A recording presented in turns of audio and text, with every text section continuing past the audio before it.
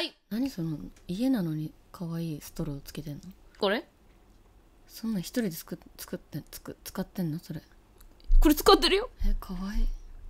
えミッキーだよ。持ってっていい？ん？持ってっていい？なんで？なんで？なんで？ねなんで？なんで？せっかくだから。せっかくだからじゃない5よ、本単位で買ってるわけじゃないでしょ？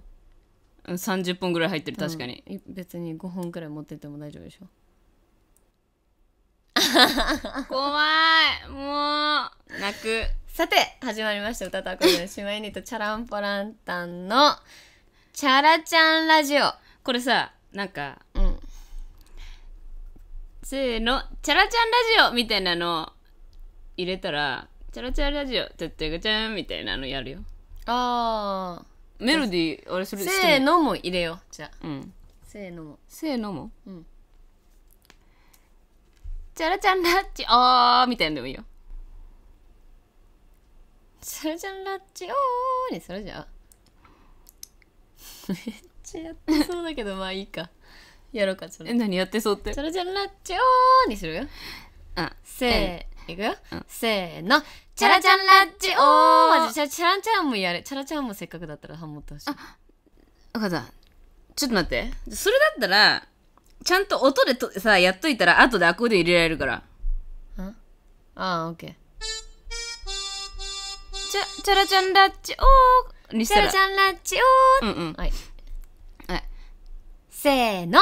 チャラちゃんラジオごめんごめんごめん私が甘かったごめん。チャラちゃんねチャラちゃんラジオごめんごめん。なんでこれアカペラで頑張んなきゃいけないの？いくよ。はい。じゃあじゃこれこれチャラちゃんラジオにするから。チャラチャチャラリオにしてはいうんはい。チャいいくよ。うんせーの。チャラちゃんラジ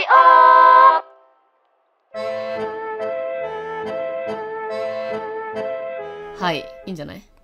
はい。はい始まりました。歌とアコーディオの姉妹ユニットチャランポランタンのボーカル妹の桃と。姉はアコーディオンの小春による。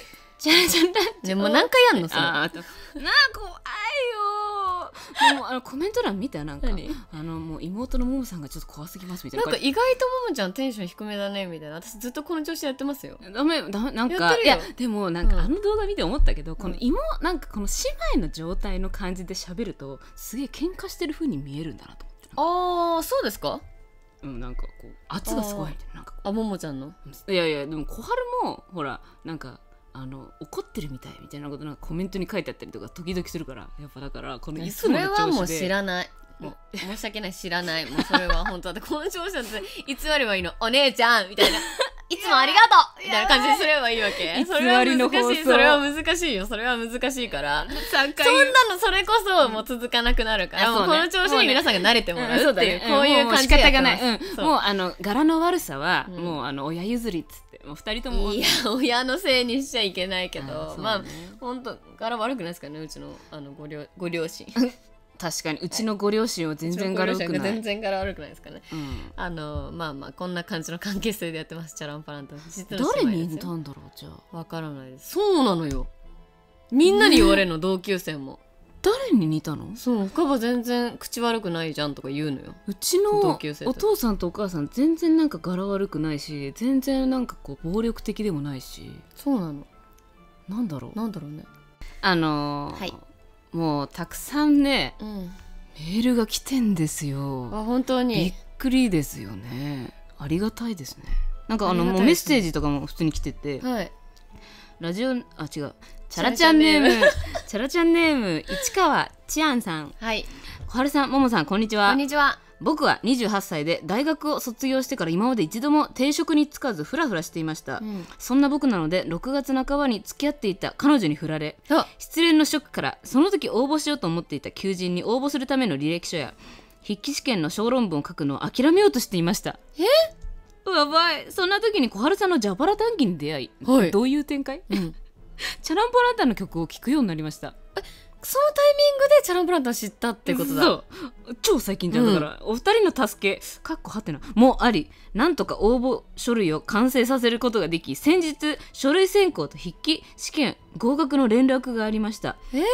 失恋の辛さで応募を諦めようとしていた時お二人の存在に出会わなければ今自分は今でも宙ぶらりのままだったと思うのでお二人には感謝してもしきれませんどんな出会い？いやいやどんな出会いだよマジで本当に。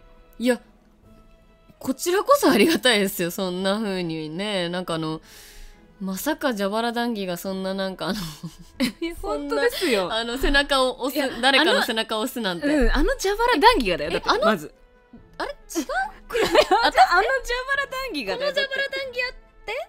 なのか？これは。うん。チャランポランタンってなのか？これは。いやあの蛇腹談義他にもあるんじゃなくて。なそんな背中を押す内容ではとてもないよ、じゃあねと、うん。全然そんな内容な予定なかったからちょっと意外でしたっけ？すぎ意外ですね、うん、まさかの、あ、まあでもの蛇腹談義で。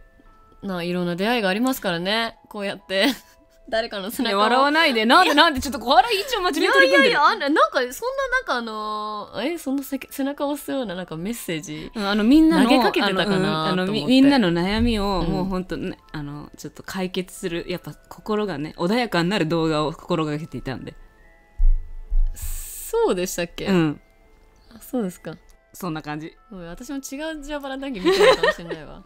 まあでもありがとうございます。意外な出会いですよ。市川千杏さん。はい。だはいからまあラジオも聞きますって言ってる。ありがとうございます。大丈夫？これ背中押せるかな？今後も。わからないですけどまた何かあったらメッセージください。はーい。まあそんな、うん。あのたくさんなんかねあのーお便りだったりあとまああのーお悩み？うんあのね、はい。もういろんなはい。メール来てますけど、はいもう異常にお悩み聞いてよももちゃんが多すぎるんですよ。あのさやっぱみんなさいやとんでもない量のおお悩悩み聞いてよももちゃん。あのもうねとんでもない量のお悩み聞ほらもうさっき来たメールもお悩み聞いてよももちゃん。まだか開封してないお悩みが。み 未読のあのまだ開封してない状態のお悩み聞いてよももちゃんまであるっていうじゃあもう行っちゃいます？もう,、うん、もうそうですね。もうもう即座に解決しないとちょっといけません、はい。もうね。ねこの間の何？エコー聞いた？聞いたよもちろん。うん。すごかった。と。そんなこともできるんですねと思って。はい。じゃあそれでいきましょう。はい。じゃあ参りましょお悩み聞いてよ。う、うん、もうすっかりもう2回目にして忘れてる。いきますよ。はい。それではおつお次っていうか、まあ、最初のコーナー、はい。参りましょう。お悩み聞いてよお悩み聞いてよももちゃん。ってやつ、はい。なんかついてんだね。ありがとうございます。なんかついてなんるかついてんだね。なんかついてる。はい。それではじゃあじゃあこのねもうたくさんたくさん来たお悩みを小春チョイスで、はい。えー選んでいただいてはい。次々答えていきましょう。早速お願いします。はい。一人目のお悩み、うん。チャラちゃんネームえみさん。なかなかちょっと小さい「つ」がついてるんでえみさおん悩みちゃんにしようか。あお悩みちゃん、うん。お悩みちゃん。え、はい。みえみさんですね。えみさんねはえみさん、うん。チャランポランタン小春さんももさん。ハロリです。ハロリ。8週連続リリース。最高でした、8週目が終わりだいぶ寂しくなっていた時にチャラちゃんラジオとは神様でしょうか？ありがとうございます。ではないです、はい。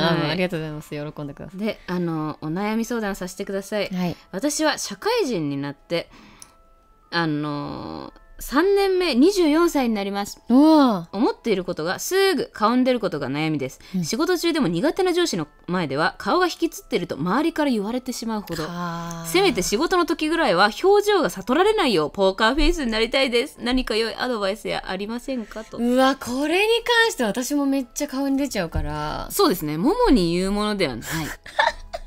これどうしよう。これどうしようか。あとねあとね、うん。小春もなんだよね小春ちゃもう本当にダメ。うん。あの生理的に無理な人っていうのはたまにねぶち当たる時あるのよ小春ちゃんね。人生の中で。そう。うん、でもすぐわかるんだけど私は。小春ちゃんのそのタームに入とモードに入ると。あこれダメだなと思う。思って横見るともう完全にもうそうってなってるからね。やばい小春ちゃんもやばいある意やばい味顔に出る人間らしくでいいということでどうですか？ダメですか？でも仕事とやっぱさ私たちはその何？会社におお勤めうん。したことがない。そうね。勤めてその働いたことがないから何とも言えないですけどやっぱりえそれでもさほらももちゃんでもなんかやっぱりあここはちょっとちゃんとした顔をしておかないとまずいかなみたいな。撮影の時にだってそんなようななんかことしたりしないでしょ？だってまあまあもちろんね、うん。だからまあもちろんね。うんそうね。なんだろうね。嫌な上司の前で顔が引きつってる。うん。ああじゃあなんか嫌な上司な何が嫌なんですかね？その嫌ポイントは何なんでしょう？いやでも嫌ポイントなんてね、うん。特に理由なく嫌って時もあるよ。あるね。小春ちゃんあるね。ある小春ちゃんあるね。なんかわかんないけどこの人好きじゃないかもみたいな時の顔あすあるでしょ？だって小春あるある小小春ね。春ちゃんある。なんかもう本当にどうしようもない。好きなとこ探してみるとかすごいなんかなんかもうそれお友達の始まりじゃんそれ。そうそうそう。好きになろうとしてみるとか。うーん。うん。でもまあそうまあ私自身そんなにやっぱ小春ちゃんほどう、んうわ生理的に無理だわこの人みたいのでシャッター閉めるみたいなことがあんまりないうんから、まあでもその嫌だなって思うってことはその人のことが気になっちゃってるってことだから逆にすごく気にしない方がいいんじゃない？うんでもやっぱ気にしない気にしないって思うと気になっちゃうからどんどんと。難しい。やっぱりそうだね。だからあとなんかその引きつってるだろうな。今引きつってんのかなとか思うと余計に意識しちゃってると思うから。もうだから他のことでうーんそうだね。だからそんなに嫌い嫌いって思うんだったらその何が嫌いなのかっていうのとまあ強いて言うならここが好きかもみたいなとこを過剰書きにしてみるとか。やば まあでもそんなになんか仕事でもう大変なそそれにより大変なトラブルがあってとかミスがあってとかっていうことでもなさそうだからね。それはなんかうまくやりくりできるんじゃないでしょうかありがとうございますももさん。はいじゃあお次ちょっとこれね、バンバンいかないと。お悩みちゃん。お悩みちゃん、はいチャラちゃんネームピクルスドアンさん。なんかすごいピクルスドンアンさん。はい、はい。ピクルステンドアンさんですね、はいももさん小春さんこんにちは。こんにちは。いつもチャランポランタの曲を聴いておりこのラジオも楽しく聴かせてもらっております。ありがとうござい早ます。速ですが、はい。恋愛相談があります。わい。結論から言いますと、うん。告白の仕方やタイミングを教えてほしいんです小中学生の時は、うん。カップルを囲い込んで冷やかしに行く連中を学校で何度も目撃したことから恋愛とは愚かな行為なのだなと誘ってしまい 恋愛に勇気もしませんでした。なんかわかるでも。うんわかる。うん。しかし中3の時僕と同じく学級委員をしていた女の子に一目惚れをしてから恋愛に興味が湧くようになりました。しかしそれでもあのその何小学校中学校のことや同じ学級委員になると学級委員の仕事に支障をきさすに違いないと思ったこともあり告りませんでした。うん。その結果まさかの親友との三角関係が発覚しその後親友が振られた直後に告ろうとしたものの親友を踏み台にしたくないという気持ちが芽生えてしまい、うん。結局できませんでしたこうした経緯があり恋愛に興味あるものの警戒してしまっているのが今の僕です。そこで冒頭で説明した告白の仕方タイミングが分かれば今の現状を克服できるのではないかと自分なりに考えたためこの相談を送ってみました。いやとっても丁寧な方。うん。ねであのどのような方法で告ればいいのでしょうか。あの告白は良かった。とかこの告白はこうして欲しかったといった体験談もあればぜひ参考にしたいですと。いやめちゃめちゃ真面目な方な何真面目だな。えこれ何歳の方なの？あわからないの？それはねわからんのでありますが。いやなんて真面目な方なんだろう。もうあのねあのね恋愛はねスタートはねこんなに真面目であれしてたら本当にい一歩もなかなか進めない可能性があるね。うん。いやーこれはな。いや正しい告白の仕方とかないよね。そうなんだよ。ないんだよ。うん。ないしえももちゃんははい。告白、あでもまあももちゃんなんかここれはいい告白だったとかないの？なんか。いい告白だったね。いい告白だった。告白？告白？えちょちょちょ待って告白思い出せないわ。でもなんか、うん。正直そのなんか向こうも好きだったらどんな告白でもいいよね。だってそんなにさ好きじゃない人からでもどんな告白言われても結果は同じじゃない、なんちゅうの、うんうんうん。そのその一言で気持ちがコロッと変わることはないからいい感じだったらどんな告白でも大丈夫な気がするけどね、まあでも本当に0%だったのに、もう毎日言われ続けて気持ち変わってきたみたいな人もいるからいるなんとも言えないけどでも好きっていう気持ちも伝えたことないってことですもんね。面と向かって。その可能性がありますね。だからそのうん。付き合ってくださいっていう告白とまた別別にというか、うん。もう好きという自分の気持ちも伝えたことがないのであれば、うんうん。その気持ちは伝えてみてはいかがでしょうか？そう。まずその付き合う付き合わない置いといて自分が好きだっていうのはすぐ伝えますけどね私はももちゃんはねあお友達とかでもね、うん。でもなんかまあそうだな。なんかで言えるアドバイスとしましてはきっととてもかしこまられちゃうとちょっと困っちゃう感じはない？うん。なんかああの大事なもの好きでありますみたいなな感じで手紙が来るとかよりかは。みたいのでね、うんこうん。う。なんかそまあ大事なものなんだけどね。なんかそれよりかはあのなんか全然好きだよみたいななんかこうフランクな感じで言っててえこれはライクとラブどっちなのかしらみたいなぐらいの軽い調子からの方がいい気もするけどね。うんなんか難しいねでも。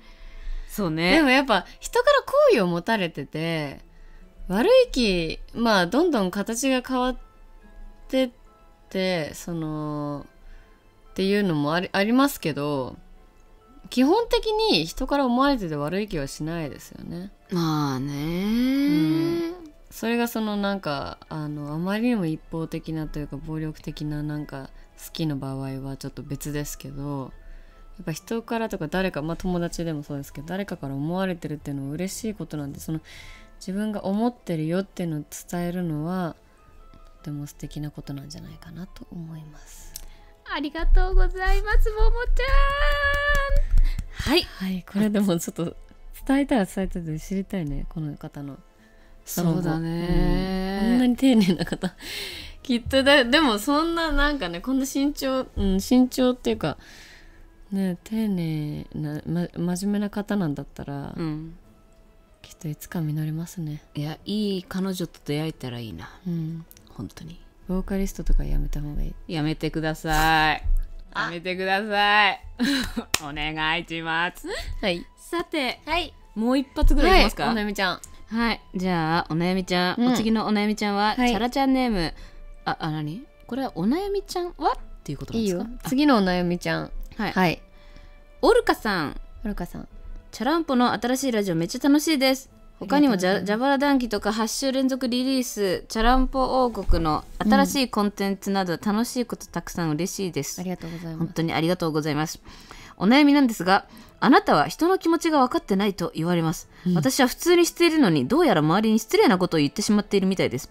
5月頃に SNS の匿名の質問サービスでそういったメッセージをたくさんもらってだからネットで人の気持ちが分かるようになる記事を読んだりしてるんですがまだまだらしくて今日も匿名の質問サービスであなたは失礼な人ですとかあなたに友達はできないとかたくさんメッセージをもらってしまいました。改善しようと頑張ってるんですがどうしたらいいのでしょう？えちょっと待って、何匿名？何その匿名あるんですよ。匿名す質問サービス？知ってる？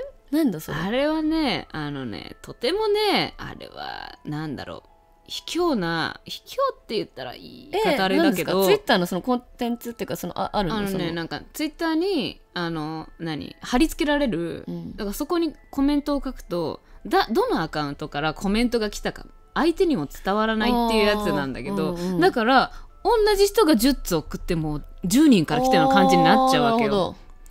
いやこれはこんなことは別に気にしなくていい。あの例えばそのすずっと何？あの仲良くしてきた友達とか家族とかに言われるんだったらまだしも。あのねえそれだけでしか？言われてないってこと？そうなの。いやそんなのはもう絶対気にしもうね、ない方がいいてかあのね、やんない方がいい。匿名、匿名の人、あとはもう SNS だけで会ってる人の、あの言葉は当てにしない方がいい。マジで。うんあのね、ちょっとこう、まあ、何、ほら、何、そ、そんな中でも私はダメージ受けてる方の、あの、キャ、なんか何、身だから言うけど、あの、でもこれ、小春にも言えること、本当に小春にも言えることだけど、もう全然それを真に受けたらもう本当に無駄。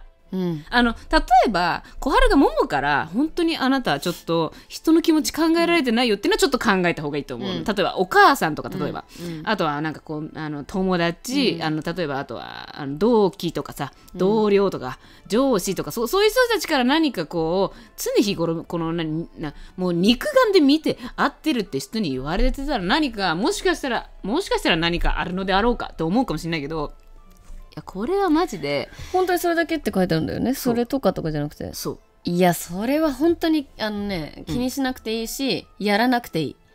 マジで。それだって自分がやり始めないとそれ始まんないんだよねその質問コーナーっていうのは。そうなんです。うんもうやらないやらない。そんなのやらない。本当に。やらないよ。やらないうね、ん。もうねまずその匿名で言ってきてる時点でもう何でもないですもうそうだね。それ本当に何でもない。もうなんかあのゴミくずみたいな状態の 何かです。本当に。本当にそうだね。そのままゴミ箱に捨てたらいい。本当に。あのねうん。だってさそれはさもうあの SNS でのリプライ自体ももうあの当てにしなくてもいいのにそれ足す匿名ってもそうなおさらひあのあ卑怯って言っちゃうけど卑怯だと思うよ普通にうん、卑怯っていうか多分何のつもりもないで言ってるじゃん言ってる側は、いやーもうねう、ん。マジで気にしない方がいい。うん、気にしないっていうかも気にしなもい一択です本当に、うん。マジで。うん、そんな人の意見マジで聞かない方がいい。まず友達なのかどうか。ではない、ではないね。うん、ないよ。ありがとうございます。ありがとうございます。これはでもなんかあれだね。あの現代の感じですね。そうですね。本当に現代の。私も今ね「ブラックミラー」っていうねあの、うネットフリックスのねドラマめちゃめちゃハマってて。あ何それもしかしてブラック次のコーナーですか？あやばい次のコーナーでも言う。え？あ言うあ言うっていうか言う？もうそもう。もうもうれしちゃう次のコーナーですよ三つそれは。え4つ答えたもん。え3つかみ4つ三つ今日はねとりあえず答えましたので。じゃあ今日三つ今日の。3人のお悩みちゃんのお悩みを答えたのではい。えー、まああのこんな感じでね引き続き皆さんからあのお悩み、うん。えもしあればえっ、と私なんかに話せるお悩みが、もしございましたらあの送っていただけたらなと思います。アドレスはえっ、とチャラちゃんラジオアットマーク gmail.com チャラちゃんラジオのスペルは CHARACHANRADIO です。はい。はい。ありがとうございありがとうございまます。せーの、チャラチャンラジオ。というわけでお次のコーナー行きたいと思います。今日のハッピーハッピ。ーなんかあんじゃない？なんかなんかあるあったんじゃない？どんどんどんどん。はい。っていうわけで、今先ほどちょろっとね、口が滑りましたけども、あのー今日のハッピーハッピ。ー。このコーナーは、私たち2人の最近ハマってることだったり、はい。まあ、あの、ハッピーな出来事でもいいですけど、何でもいいけど、なんかおすすめだったり、いろんなものを紹介するという、はい。えーそんなざっくりしたコーナーでございますが、えー私の今日のハッピーハッピー、紹介したいものは、はい。えー、ネットフリックスのうん。ドラマなんですけどネットフリックスオリジナルのドラマであのね「ブラックミラー」っていう。なんかね、うん。あなたの口から5回ぐらい聞いてる。いやほんと多分5回以上言ってると思う。も う本当に面白くて。本言われてんの。本当に面白くて。あのねえっ、とシーズンが結構ねシーズン5まで今出てるんですけど、うん。であのイギリスのねドラマであの毎回えっと1話完結はい、のだからあの外国版の世にも奇妙な物語的なうん、感じで SF ものというかあの何ですかね近未来のテ何発達したテクノロジ なんかその話もなんか5回ぐらい聞いてー、る、うん。やばいよが引き起こす、何出来事とかストーリーというか、うん。いや本当にこれが面白くて。であのやっぱり現代のその SNS 問題とか、SNS とか、うん。まあ携帯とかあのーもういろんなね、すまあ、ネットとかそういうのいろんなもの絡めてるの。だからすごい面白くてもう近未来の話だから全然ないんだけどここなんかこうやってやったりとか、ここういうのとかあったりするんだけど、全然あると思う。もうほんと間もなくこうなると思うっていう感じの世界。で全体的になんていうの？なんて言うんだろうな。ざざっくり全体的にだからあんまりいい未来じゃないうんうんうん。感じの、まあ、描いてるんだけど、まあ、その SNS も描かれてる回もああったりするんでぜひ見てほしい。やばいね。すごくでもポップな回で言うとなんかあのーえっ、とランク社会っていうねうん。シーズン3のエピソード2かなんかかな。シーズン3見てくれたら分かるけど。そうそうランク社会ってタイトルだったかな。ってやつがね。その SNS とかそのいいねとかそういう人からどう評価されるかみたいなどう見られてるかネットでね、うん。っていうのに生きる人の話だったりするんでちょっとそれそその回すごくポップなんでまあそのあのね他のそのねストーリーによっては、はい。あのすごくず全何てんの？全編通して全編っていうかそのお話ずお話中ずーっと暗いとかずーっとローなテンションだったりする回もあったりするんですけどそのランク社会っていうのはすごくポップでね見やすいんじゃないかなと思う。み見てくださいぜひ。すっごい面白いやばい。あ小春ちゃん見てなんかまずランク社会から見てじゃじゃじゃじゃじゃええ何？そじゃじゃじゃじゃじゃじゃじゃじゃじえそれはえっとランク社会っていうタイトル？タイトルわかりました。シーズン3だったと突然シーズン3から見るの？あでも全然いい、まあまあもいね、私も間違えて、うん、あのシーズン5のエピソード1から見たから5の1から見始めたから。わかりました。でもシーズン5もめちゃめちゃいい。シーズン5は3本くらいしかないんだけどめちゃめちゃいい。本当にいい。楽しい。本当に面白い。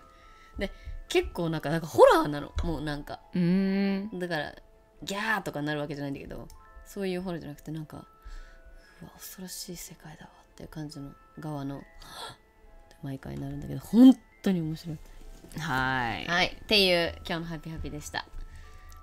かわちゃんは？小春ちゃん？え小春ちゃんもいいんですか？いいよ、えじゃあ小春の映画最近見た映画みの話にしようかな、うん、あのシュガーラッシュ見たんだよ小春。シュガーラッシュってなんだっけ？えあのねピクサーの。ピクサーだと思う。ディズニーの。なんだシュガーラッシュえシュガーラッシュってねあのね何？こうなんかレトロなゲームのうん。なんかゲームに出てくるうん。キャラクターのお話なんだけどえー、何これ？あ見たことあるこのジャケっていうか。でこのさなんか巨体巨人みたいなやつ、うん。それがねなんかね悪者なの。あのその何ゲームのゲーム機の中で、うん。でもずっと悪者やってるのが嫌になっちゃって、うん。そのゲーム機から逃げちゃうのよ。えでもそのそのゲーム機から逃げちゃったらもうほらそのさそこのゲゲームセンターのおじさんが、あこれ故障してるなってなって。でもさそんなあのその悪者いなくなっちゃったら故障ってなっちゃうから、もうあのだから修理し何もうそのもうあのもうこれ結構長く使ってるからもう捨てなきゃなみたいになっちゃうわけ。だからもうその中にいる他の住人もあの失業しちゃうっていうかなんかいなくななんかなくなっちゃう。だからなんかみんなが必死で探すんだけどもう他のところでなんか俺はなんかやっていくみたいななんか、なんかうんそうそうそう、うん。あとなんかあのもうあのーそのゲームの中で出てくるね。あのメダルがどうしても欲しいんだってその悪者は。うん。もう持ったことないんだって。うんうん泣けるよ。いやもう無理。多分もうもうもうもう無理。ね？もうやばいよ。んでなんかしかもズートピアのさうん。ズートピアのディズニーが送るズートピアのチームが作っ夢のネットの世界へって書いてある。もう無理。もうズートピアもすごい好きだもん。ずっとペン見たことない。え見なよ。見なよ？見なよ。見なよ。ズートピア見な？でねちょっとここじゃあこれもうもう見てよ。でそれでえ、ね。小春ちゃんあれでしょ。ディズニーのチャンネル入ったからでしょ。嘘だよ。マジ？やばい。どこで見れですんだろうこれ。えあもうそしたらじゃあ小春のなんかもうあの iPad 借りてとかですか？なんでそこまでして見せなきゃいけない？でもまあ本当に見て。で、えーなんかそれがね、うん。あのちょっといいなんかいいシーンが一個あんだけど、いいシーンっていうか切ないシーンなんだけど、うん。あの言っちゃう？それ言っちゃう？いやいや大丈夫大丈夫、あのパックマンとかいろいろなゲームのキャラクターいっぱい出てくるの。えすごっ、うん、であのあれであのほらマリオのさあのもう悪者とかも出てくるの全然。全員なんかなんかすごい協力的。そうそうそうそうそう。で、みんなあの毎週毎週ねあのその悪者たちだけなんかおあの同じなんか部屋部屋に集まって俺たちは大丈夫俺たちは大丈夫みたいななんかみんなで励まし合ってるの。で嫌なこと言おうみたいななんか嫌だったこと。うん、今週の嫌だったことみたいな。泣ける。あもう無理。泣けてきた。泣けてるじゃん。いやマジでちょっとあれはいいからちいやょっと見て無理。それめっちゃいいね。いやでもそれでどのゲームも俺たちがいないと無理だからみたいなこうやってうんうん。励まし合ってんだけど、それがすげえ。いやもうちょっと無理だわそれえー、見てよ。見るわー見るわ。えでもあのなんだっけあれも見たでしょ？ん？え？あのーリメンバーミー見た？リメンバーミー見たよ。いやあれあれも最高でもこれ最初の10分ぐらいで泣いちゃったから。あれね。いやもうやばいね。やっぱディズニーすごいよね。いやすごすぎだよ。なんかねはい。多分ディズニーの狙ってるところがなんか完全にちょっと。ね泣いてんじゃんもうやばいもう本当泣にいてるじゃん、泣けるよ本当に。もう。まあそういうねあのーやつももう一回見てもらって。まあじゃあそんなあのー。まあそんな今日のハピハピとハピハピでございました。はーい。はいありがとうございます。皆さんぜひえっとシュガーラッシュ。そう。映画のねピクサーのシュガーラッシュとネットフリックスのブラックミラー見てみてください。はーい。はい。せーのチャラチャンラジオ。そして？あのね。もうでもね結構経ってるんですよ。そんなことないよ。おおまあでもちょうど。いいね。うんもう今回。2本取ろうと思ったけどやっぱ1本ずつにします？一本ずつまた。でしょ閉めますか。うん。いや、はい。閉めてもいいんですけども、はい閉めてもいいんですけど。うん。なんかあのどうします？何ですか何ですか？いや閉めてもいいですけど。何ですか？それ曲にしますってやつも来てるんですよ。うん。でもこれじゃあじゃあ来週までに作っときますみたいな風にします？これ作るの全部さここで流しとくとさめ確かにね。たくそ時間がかかるから、じゃあいエピソードだけ読んで、うん。うんうんこのエピソードじゃあちょっと作りますっていうえそうですね。じゃあうん今回それ曲にします？選びましょうか。グッズグズなってるよ。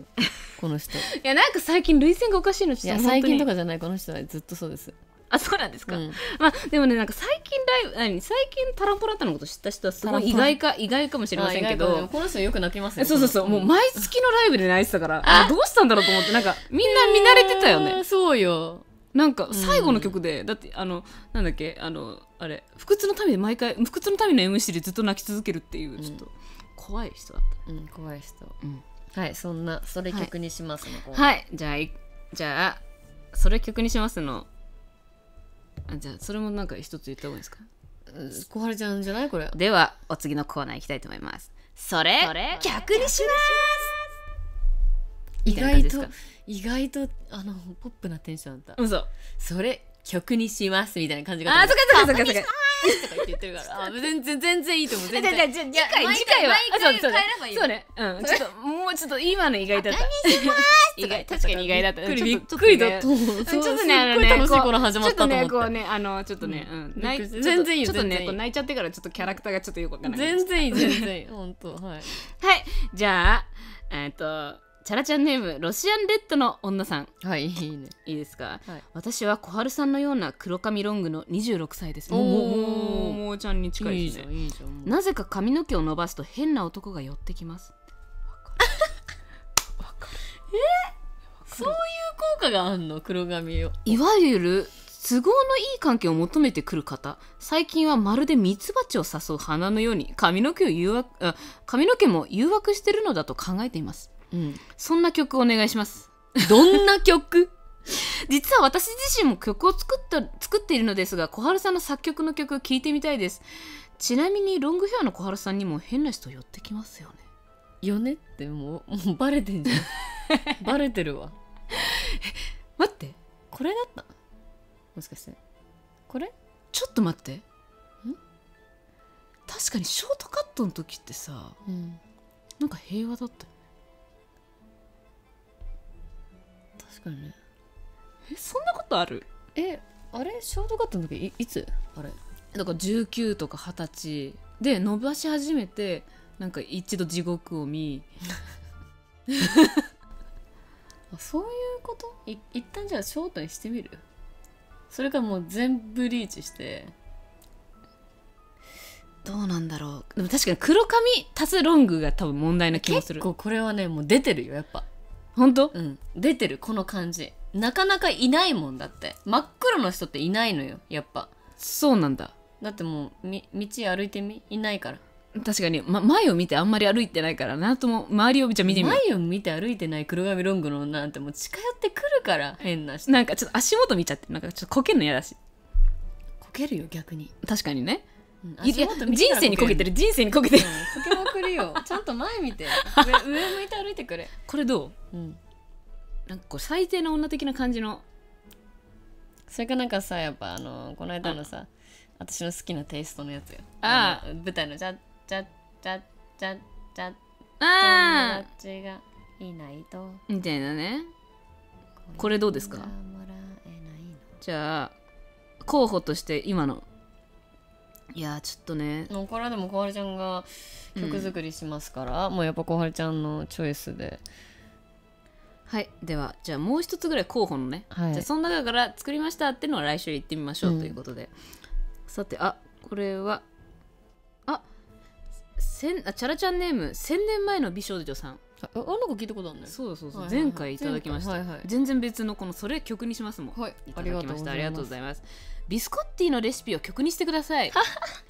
いな平ああれじゃあほらコロッケのさあるじゃんね。ほらあのある。もう全部その歌の通りに作ったら。これ確かに知りたい私も。あ本当、うん。あなんかパラパラパラみたいなね、うん。あのなんかナッツ入れるよパラパラみたいな、この曲歌えば、うん。ビスコッティが出来上がるっていう。うんおそらく小春さんはまたビスコッティを作るし オタクも覚えてみんなでマスターできたら楽しいと思うんですが、隠し味は〇〇みたいなそれぞれのビスコッティが広がったらなって思います。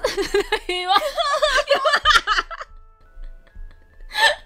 私も食べたことないけど歌になったら絶対作るのってだって。かわいいいいじゃん。いやこれいいじゃん。これは。これは確かにみんな喜ぶよ。かにね。このコーナーやり始めてうん。1曲目出来上がりましたっつった曲がもうビスコッティの歌ってなんで 平和なんだ。ろう いろいろある中。でまあでもお悩み相談のね、うんうん。コーナーが結構、うん。あのヘビーというかあのちゃんと皆さんな悩んでるっていう、はいはいはい。ね、お悩みを送ってくださるんで、まあ、こういうねライトな感じもいいじゃないですか、えええええこれとってもいいと思います、うんうんありがたいですね。まあじゃあこんなねこんなのもああってますよ。じゃあこっちのね、はいはいはいこの2曲のもしかしたら両方、もしかしたら片っぽ、うん。来週作るのかどうかっていうのもはい、お楽しみに。えええまあそんなわけで、えうん。えー、長々話してきましたけどもう40分くらいですよ。うん、いやでももうこれこれぐらいが多分いい調子なんだと思いますよですね、うん、どうです？サクサクサクっと進んだ方がいいんですね、うんうんうんうん。やっぱお悩み2個3個やって。はい。はいはいはい。そんなわけで来週も頑張りたいと思います。でだとあいやもうあのねもうもうちゃんが、あのやる気さえあれば絶対大丈夫。私もやる気めっちゃあるよ。梅雨明けたしね。すごい梅雨明けるとそう全然だるさないでしょ先週より全然そう。そうそうそう。なんかちょっと靴ずれでちょっとバッドになってたけどそれぐらいあそうそう全然。でもねそんなバッドももうあ。なんのその？あ梅雨のせいだったの、そうそうそうそうそう。あ知らんか梅った。雨ちょっともうね1年間もうずっとね1年通してもハッピーハッピーなんだけど、うん。梅雨ちょっとちょいバッドになるから。あー知らんかった。それはちょっと把握しきれてなかった。梅雨の間ちょいバッドになってまたすぐもうぶり返すぶり返すじゃないぶり返すもうねはハピハピがぶり返す。そうそう。ハピハピぶり返す。盛り上がる。そうそうそう。あそうなんだ。全然全然もうほんと。あ知らんかったそれは。いやこれはなんか日本撮りとかしないともうなんか来週えなんかもうちょっとでもももちゃんちょっとバトラーからついていけないかもみたいになるかなと思ったけど全然なんかちょっよ。と確かにね。全然。もうなんかちょ全然来るよ。ちょっとだって顔がちょっと爽やかだもんねちょっと。全然来る。全然来る、うん。あもうね。知らんかった。それは知らんかった。もうほんと靴ずれなんてなんのその。ああそうなんですね、ハッピーハッピーの日々が始まりました。もう皆さんサマーですよ。8月ですからね。知らんかったそれは、はい。せーの。チャラチャンラジオそんなわけでじゃあ今週もね楽しくお送りしてきました、はい。そろそろお別れの時間です。ええ。どうやって締めてましたっけ？また来週も聞いてくださいねみたいなチャランパンタン。うん、で、でさほら、だから、で、チャランパラダの、なんたらなんたらと、なんたでした、またね、みたいな感じだった。た多分。はい。そんな感じだね、うん。じゃあ、えーお送りしたのは歌とアコーディオン姉妹ユニットシャランポランタンボーカル妹。の桃と姉はアコーディオンの小春でした。またね